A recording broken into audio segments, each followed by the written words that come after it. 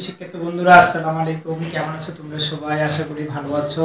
এই করোনা ভাইরাসে সারা দেশব্যাপী হোম কোয়ারেন্টাইন চলছে। আশা করি এই হোম কোয়ারেন্টাইনের ভিতরে তোমরা ঘরের মধ্যে আবদ্ধ আছো।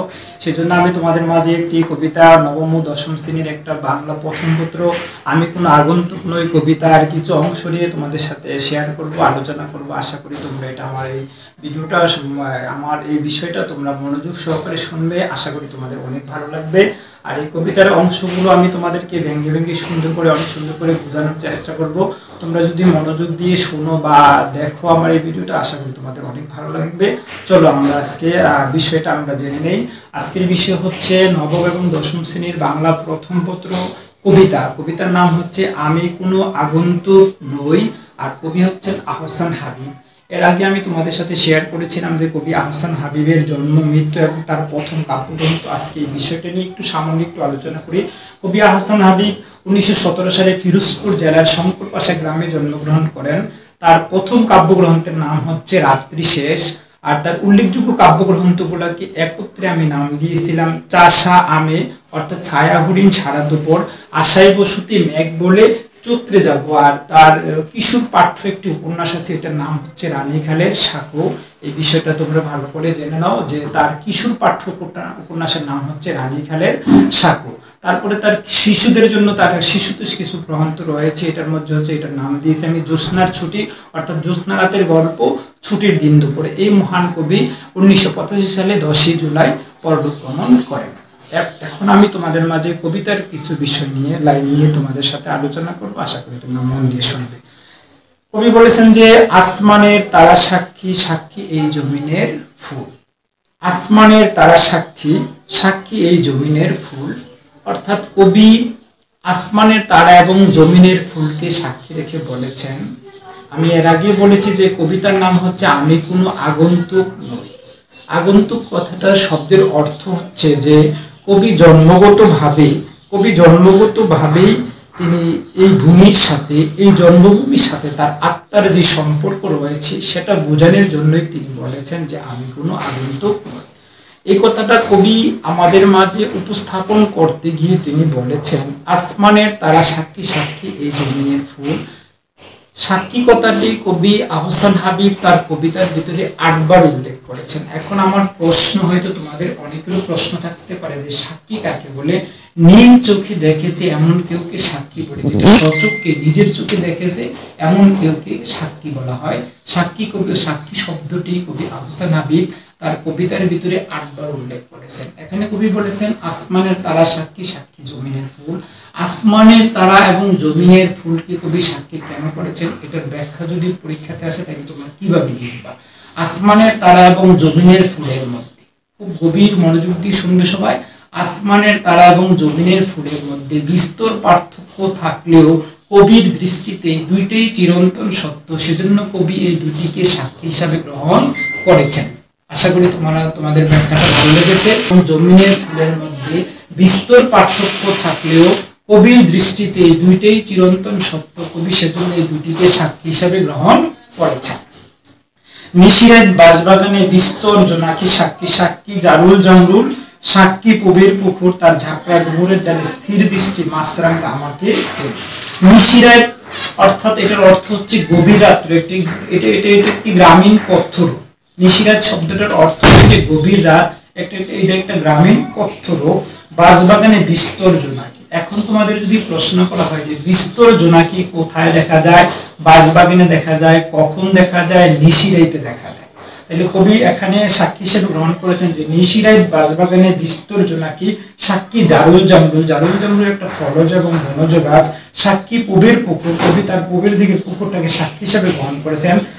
তার ঝাঁকড়া ডুমুরের ডালে স্থির দৃষ্টি মাছরাঙ্গা আমাকে চিনে। কবির পুকুর পুকুরের যে একটা ডুমুরের গাছ রয়েছে, ডুমুরের ডালে যে স্থির দৃষ্টি যে মাছরাঙ্গা পাখিটা এই পাখিটাও যেন কবিকে চিনে, অর্থাৎ কবি যখন কোনো কাজের জন্য কবির পুকুরে যান আর মাছরাঙ্গা পাখির সাথে যখন কবির দেখা হয়, এটা কাল্পনিক অর্থে কবিকে যেন মাছরাঙ্গা পাখিটা চিনে, যেন কবিকে দেখে, যেন পাখিটা এখান থেকে কোথাও দূরে সরে যায় না। অর্থাৎ মনে হচ্ছে যেন কবির সাথে এই পুকুর পুকুরের যে, যাত্রার গভীরের যে স্থির দৃষ্টি, মাছরাঙ্গা, পাখির সাথে মনে হয় যেন কবির একটা সম্পর্ক রয়েছে। তারপরে কবি বলেছেন, আমি কোনো অব্যাগত নই অব্যাগত শব্দের অর্থ আগত বা আগন্তুক নন। ক্ষুদার কসম আমি বিন্দিসি প্রতীক নই। ক্ষুদার কসম আমি বিন্দিসি প্রতীক নয় আমি বলতে কবি আহসান হাবিব, বিন্দিসি শব্দের অর্থ অন্য দেশ থেকে আগত, অর্থাৎ তিনি কোনো মুসাফির নন, আমি কোনো আগন্তুক নই, আমি কোনো আগন্তুক নই। আমি ছিলাম, এখানে আমি সাপ্নিক নিয়মে এখানে থাকি, আর এখানে থাকা সর্বত্র থাকা সারা দেখে সাপ্নিক চিরাচরিত নিয়মে, চিরাচরিত কথা অনুযায়ী তিনি এই বাংলাদেশে থাকেন। এই বিষয়টা তোমাদের অনেক ভালো করে জানতে হবে যে এখানে থাকি, এখানে থাকা, সর্বত্র থাকা, সারা দেশে থাকা, এটার ব্যাখ্যা যদি পরীক্ষা আসে তাহলে তোমরা কি লিখবা? অর্থাৎ কবি বাংলাদেশের যে কোনো জায়গায় অবস্থান করেন না কেন? অর্থাৎ কবি বাংলাদেশের যে কোনো জায়গায় অবস্থান করেন না কেন? কবির আত্মাটা যেন সারা দেশ জুড়ে আছে তোমরা পারবে কিনা আমি আরেকবার রিপিট করছি বিষয়টা, যে এখানে থাকি এখানেই থাকি আর এখানে থাকার নাম সর্বত্র থাকা সারা দেশে। এটার ব্যাখ্যা যদি পরীক্ষাতে আসে, তোমরা কি লিখবা? যে লিখবা যে কবি বাংলাদেশে যে কোনো জায়গায় অবস্থান করেন না কেন, কবির আত্মাটা যেন সারা দেশ জুড়ে অবস্থান করছে। অর্থাৎ কবি বাংলাদেশে যে কোনো জায়গায় থাকেন না কেন, তিনি যেন সারা বাংলাদেশ জুড়ে যেন তার আত্মাটা জড়িয়ে আছে। অর্থাৎ এই দেশের মাটি এবং মানুষের সাথে যেন তার একটা গভীর সম্পর্ক রয়েছে। আমি কোনো আগন্তুক নই এই খররুদ্র জলজ বাতাস মেঘ ক্লান্ত বিকেলের পাখিরা আমাকে চিনে।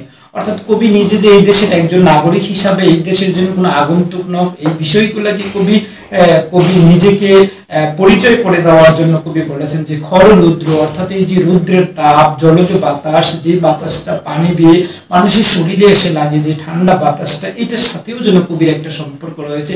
ক্লান্ত বিকেলের পাখিরা পাখিরা যখন বাসা থেকে বেরিয়ে যখন খাদ্যের সন্ধানে যায়, আবার যখন তারা গাছের ডালে এসে বসে, কবি যখন যাইয়া নিচে বসেন, এই কবির সাথে যেন পাখির সাথে যেন কবির যেন একটা নিবিড় সম্পর্ক রয়েছে। তার এই জন্য কবি বলেছেন যে, পাখিরাও আমাকে চিনে, তারা জানে আমি কোনো আত্মীয় নই।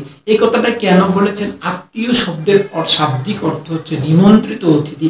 আত্মীয় যেমন আসলে তোমার বাসায় আসলে একদিন, দুই দিন থাকার পরে চলে যায়। কবি বলতেছেন যে, আমি কোনো আত্মীয় না, যে আমি কোনো নিমন্ত্রিত অতিথি না, যে আমাকে এখানে দাওয়াত দিয়ে নিয়ে আসছে বা প্রয়োজন শেষ হলে আমি এখান থেকে চলে যাব। কবি এই জিনিসটা বুঝিয়েছেন। কার্তিকের তারা জানে, আমি কোনো আত্মীয় নই। কার্তিকের দানের মঞ্জুরি সাক্ষী। মঞ্জুরি শব্দের অর্থ দানের ডগাস বা শীষ। আমাদের দেশে গ্রাম বাংলায় কার্তিক মাস আসলে নতুন দানের যে একটা নবান্ন উৎসব হয়।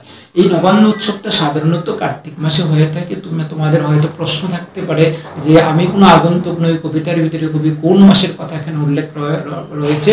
যে কার্তিক মাসের কথা এখানে উল্লেখ রয়েছে। আর দানের মঞ্জুরি মঞ্জুরি শব্দের অর্থ দানের ডগা বা শীষ। সাক্ষী তার চিরুল পাতার, চিরুল শব্দের অর্থ বিদীর্ণ মাঝখানে ছেঁড়া। অর্থাৎ যেই পাতাটা কোনো পোকা অথবা কোনো কিছুতে খেয়ে ফেলেছে, অথচ পাতাটা ভালো পাতাটা ভালো আছে কিন্তু তার তার উপরে অংশটা কোনো পোকামাকড়ে খেয়ে ফেলেছে। এই জন্য চিরুল শব্দের অর্থ বিদীর্ণ, অর্থাৎ মাঝখানে ছেঁড়া, টলমল শিশির, সাক্ষী জ্যোৎস্নার চাদরে ডাকা নিশিন্দার ছায়া।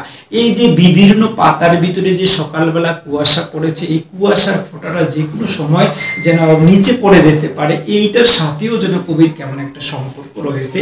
এখানে নিশিন্দার ছায়া, নিশিন্দা একটা ঔষধি গাছ, যেই গাছটার উপরে যখন রাতের অন্ধকারে চাঁদের আলো পড়ে, এই চাঁদের আলোটা যেন নিশিন্দার ছায়াটাকে চাদরের মতো ঢেকে রেখেছে। তো প্রিয় বন্ধুরা, আমি আজকের এই কবিতার অর্ধেকটাই, মোটামুটি অর্ধেকটাই তোমাদের সাথে আলোচনা করেছি। এখন তোমাদের সাথে আমি কিছু প্রশ্ন নিয়ে আলোচনা করব।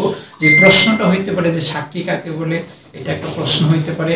আসমানের তারা সাক্ষী, জমিনের ফুল, এটার ব্যাখ্যা তোমাদের পরীক্ষায় আসতে পারে। সাক্ষী কথাটা এই কবিতার ভিতরে আটবার উল্লেখ করা হয়েছে, নিশিরাত মানে গভীর রাত। এখানে প্রশ্ন থাকতে পারে, বিস্তর জোনাকি কোথায় দেখা যায়, বাসবাগানে দেখা যায়, কখন দেখা যায় নিশিরাতে দেখা যায় স্থির দৃষ্টিকার মাছরাঙ্গার, মাছরাঙ্গা কোথায় বসে আছে, পুবের পুকুরের ডুমুরের ডালে বসে আছে, এটা একটা তোমাদের প্রশ্ন থাকতে পারে। আরেকটা প্রশ্ন থাকতে পারে বিন্দিসি শব্দের অর্থ বিদেশি। আরেকটা প্রশ্ন থাকতে পারে যে তোমাদের সাপ্নিক নিয়মে, অর্থাৎ চিরাচরিত কথা অনুযায়ী আরেকটা ব্যাখ্যা থাকতে পারে, এখানে থাকা, সারা দেশে থাকা, সর্বত্র থাকা। এটার ব্যাখ্যায় লাগবা যে কবি বাংলাদেশে যে কোনো জায়গায় অবস্থান করেন না কেন, কবির আত্মার জন্য সারা দেশ জুড়ে আছে। আরেকটা যে এই কবিতার ভিতরে যে বাতাসের কথাটা বলা হয়েছে বাতাসটা কেমন? এটা হচ্ছে একটা জলজ বাতাস।